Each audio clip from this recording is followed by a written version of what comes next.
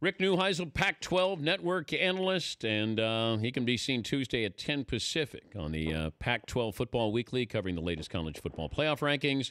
Always great when he brings his guitar and brings us a song. And Rick joins us now.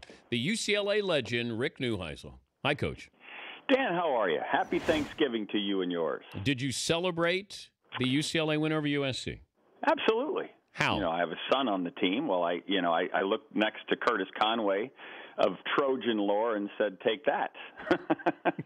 That's what you do. You know, it's it's all about uh, the the rubbing it in to those who uh, live right next to you. It's it's a city uh, divided on that particular day, as you know. Yeah, but by the way, don't you have a child at USC? Yes. How did he celebrate on that particular day? Uh, she. Or she? Yeah. Um, my, actually, my boys have met her. Said she's kind of hot. Do you get that a lot? Well, she looks like me. Do your boys think I'm hot?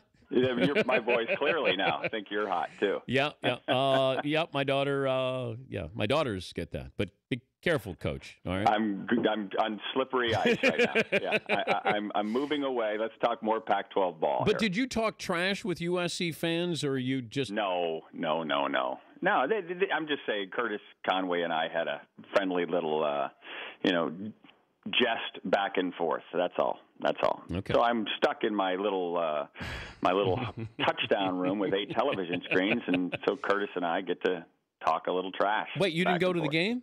No, no, I'm in the studio. Oh, oh, okay, okay, okay. Yeah, yeah. No, I, I didn't know you were working. So, yeah. You know, I follow you. Yeah, I, I watch what you do on Sunday nights, and I try to emulate. You know what you bring to the national television audience. How could I help you? Well, I you know I think you know I'm going to have to come to your camp. There's no question. like the Manning passing camp? Exactly. I, mean, I think you should have the DP broadcasting camp. No question about it. I would love to do it. I really, in. I really be, would. I'll be the first guy to sign up. Because I don't know if I can do it, but I know what I should be doing, and uh, also with analysts to be able to uh, to help them. So there is an entire country out there that thinks you do it just fine. Well, thank you, Rick. Thank you. The uh, final four tonight will be in what order? Oh, I think it's going to be Alabama, uh, Oregon, Florida State, and Mississippi State. I think it'll be uh, exactly where it was. Hmm. They'll hold chalk. But that doesn't matter. What really is the interesting thing tonight will be five, six, and seven. Those just on the outside looking in and how they arrange TCU, Ohio State, and Baylor. Will it be in that order as it was last week, or will Baylor finally get uh, some credit for their head-to-head victory over TCU? Will the committee continue to think Ohio State's that sexy pick and keep moving them up? Uh, it, those those are the real questions, and and then you know UCLA and Georgia, they're the two lost teams that have some hope of uh, making it.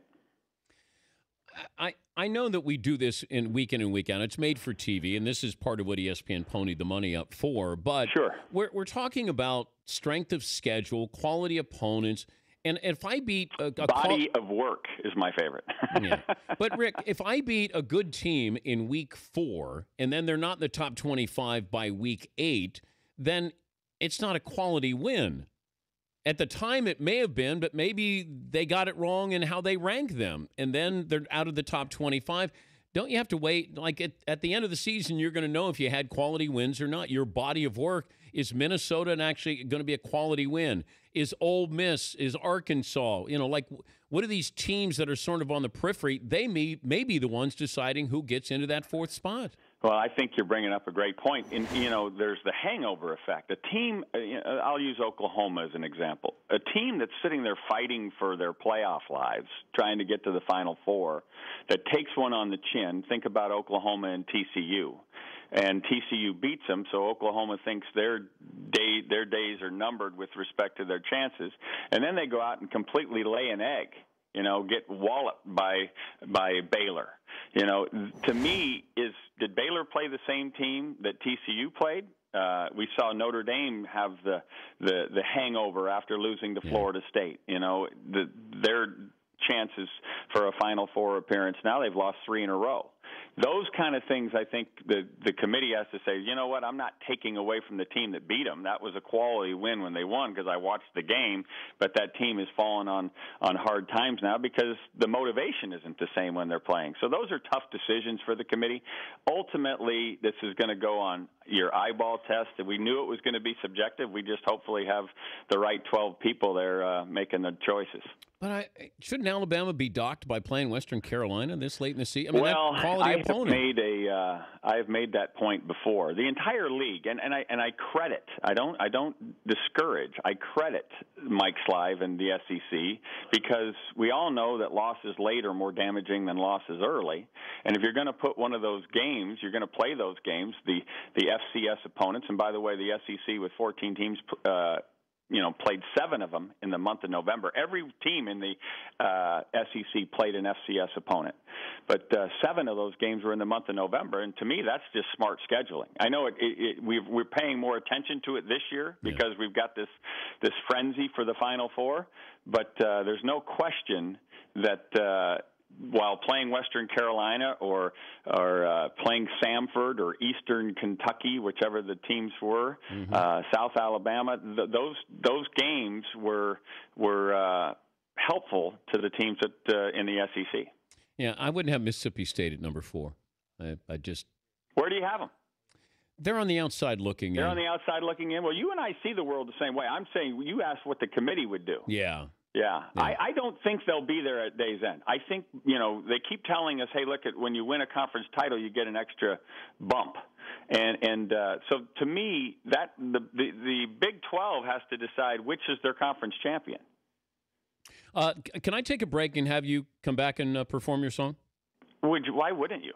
Why wouldn't you? I mean, you're you're I'm teasing the, this. You, you, have the camp. I'm the guy who you know paid the the freight to come to your camp. I'll do whatever you say. All right, we're gonna. This is called a tease. I'm gonna tease the Rick Neuheisel song, and that'll be coming up next. Dan Patrick Show. He gave us "Born in the SEC," "The Ballad of Johnny Manziel," just some of the greats. He's sort of our One Direction. He's Rick Neuheisel, the UCLA legend, Pac-12 Network analyst, and today's song is what, Rick? We call it I Don't Know. Right. Basically, the lament of our 12 committee members right, as they sit in Grapevine, Texas, trying to figure out who they should give us as their final four. Sung to the tune, Dan, of Jimmy Buffett's Volcano. All right, here we go. Rick Neuheisel.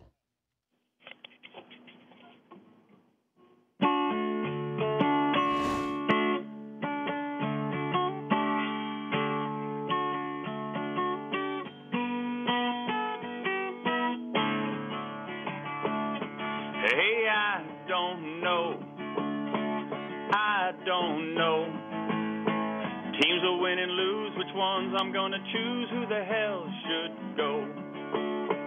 Archie Manning's on the shelf. Football committee is down to 12. Becoming much harder to make our picks.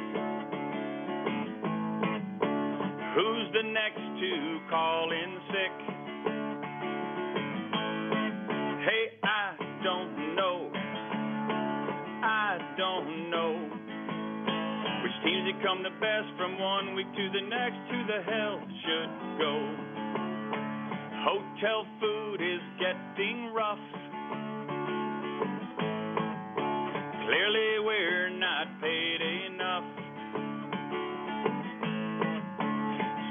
Jeff Long says, Don't be stressed.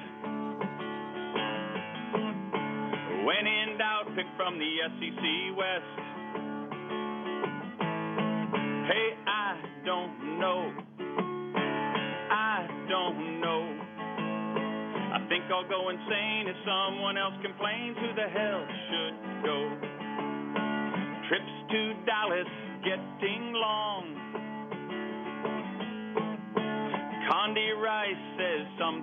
Wrong. She's met with world leaders on the brink of doom. None of them send flowers to her room. Hey, I don't know. I don't know. I don't know which way I'm gonna go with the final foe?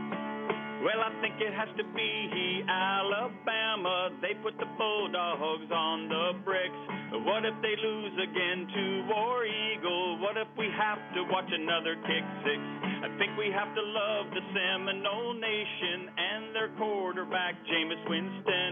He's not an expert on public speaking, but he has found every way to win. We've got to look west to the Pac 12. The Oregon Ducks will fit just right. The whole country loves their West Coast football, just like Pat Haden loves LenDale White.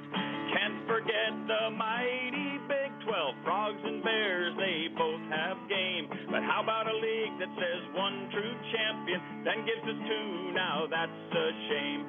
Buckeye Nation screams, don't forget us. We just mopped up a Michigan State. Never mind that Vatech nightmare.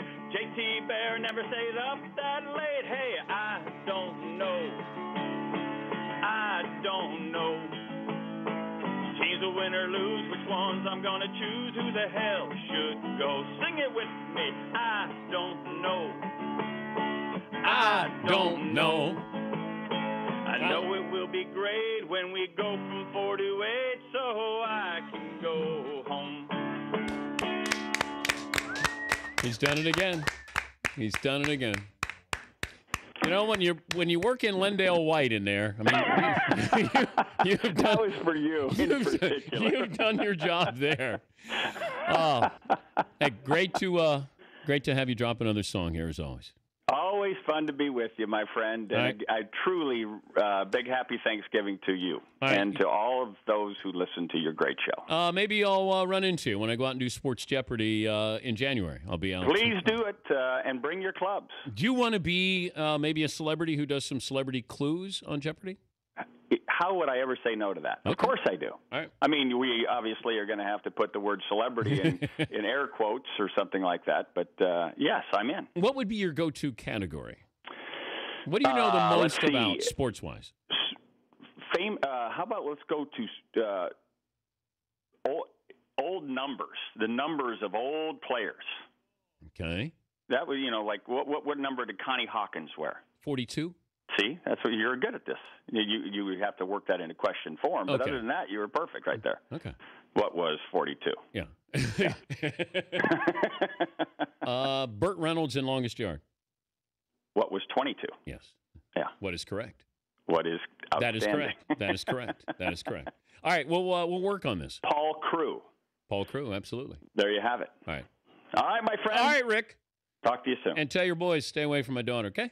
Uh, you got it. All you right. got it. Thank you. It's Rick Neuheisel, former UCLA head coach, Pac-12 Network analyst.